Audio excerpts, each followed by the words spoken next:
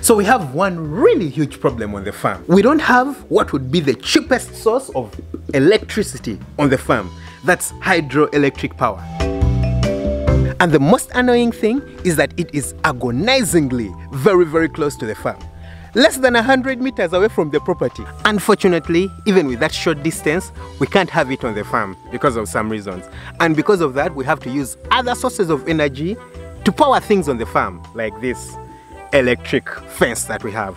Of course, it's not powered currently, that's why I'm able to touch it. And it's a really, really tough job powering the entire farm. Whoa, it's so tough. Hi guys, welcome back to the channel. Dr. Daniel over here, and this is Farm Up. I run two farms. One of them is a rather small scale poultry farm that I started about two years ago. It has around 670 chickens right now.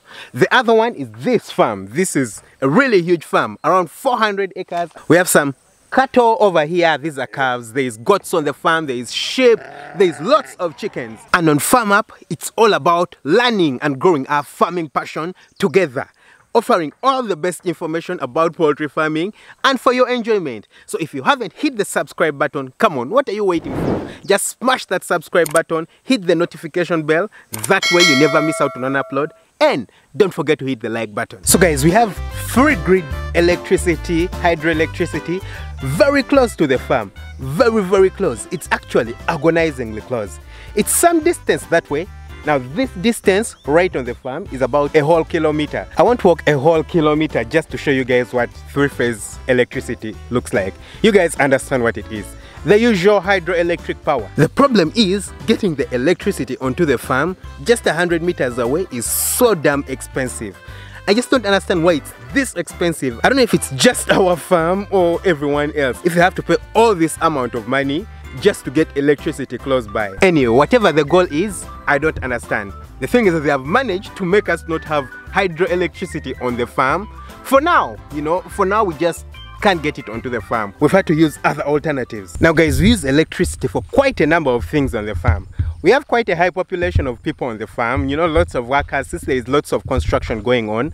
And almost all these people actually have phones that they use, that they need to charge and things like that. We pump a minimum of 20,000 liters of water every day consumed by the cattle on the farm, the goats, the sheep, the human beings, the chickens, the water that's needed to water some plants when it gets really dry. That's over 20,000 liters every day and that has to also get pumped all around the farm. And that too also needs electricity for pumping. A refrigerator to keep our drugs and vaccines and of course some food, you know, some fruits. But more importantly, the vaccines, you know, for the chickens because they need to be kept quite cool between 2 and 8 degrees and this is Uganda. We are at the equator. Our temperatures at this point sometimes get to up to 34 degrees Celsius. So this is definitely necessary. Right here we have a spray race for spraying and disinfecting the goats, sheep and cattle, getting rid of the ticks and all parasites that infect them on their skins.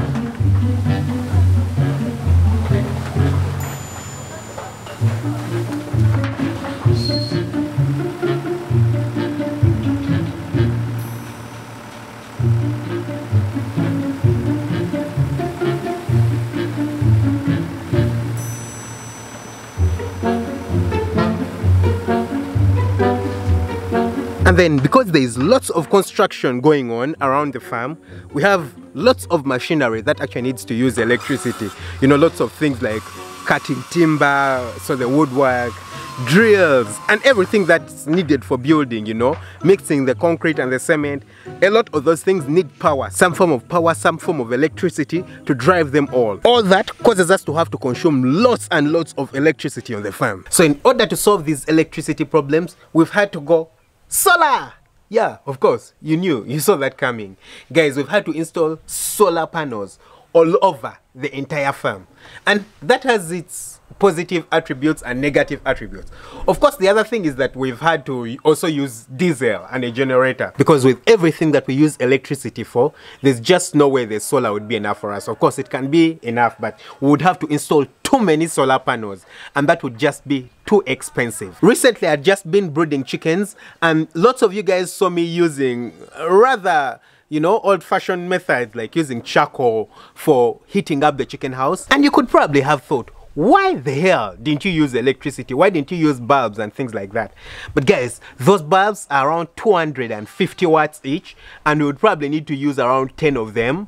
That would be too much electricity for us to burn and we just don't have that amount of electricity on the farm. We don't have that much you know solar on the farm and then running diesel all throughout the day and the other day for the generator would also become too expensive. But the solar panels are actually quite sufficient currently.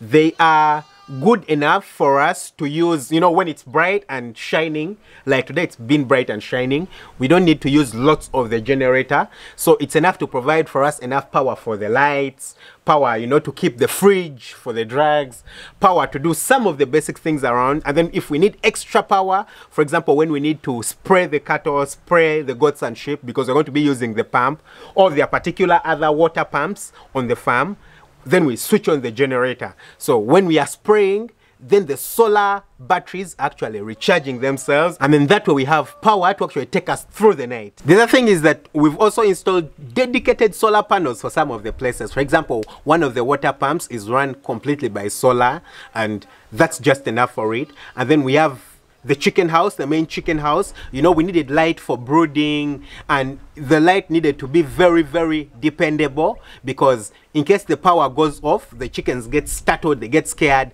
they could suffocate to death. So in order to avoid that, we also had to install solar panels on top of the chicken house in order to support the chicken house. And yes, guys, we've also had to, you know, burn charcoal because we had a lot of wood and timber around that lots of logs that were not being used and you know they had been cut down and they're not being used. They had been here for quite some time. We decided that you know we need power for cooking. That's it. How on earth are you going to cook for you know 30 40 people it's just impossible to use electricity with the power problems we've had. So we had to burn charcoal. We had to burn charcoal, as you guys can see in the background. And so we burnt a lot of the wood that was around and we made charcoal. Sometimes we actually just use firewood for cooking some quick things. And that helps us in that, you know, sometimes we get to save the electricity and get to save the power. And I know a lot of you guys are also going to tell me about biogas. I hope that's what it's called, you know, um, getting the cut off feces, the cow dung, and putting them in a decomposer, a tank, in order to get the gas. That's something that we're actually going to be working on. We already have the tank around. It had been dug by the previous farm owner, but it hadn't been maintained. So we need to actually work on it to get maintained in order for us to be able to use it. Otherwise, which other sources of power do you guys think, you know, we can use?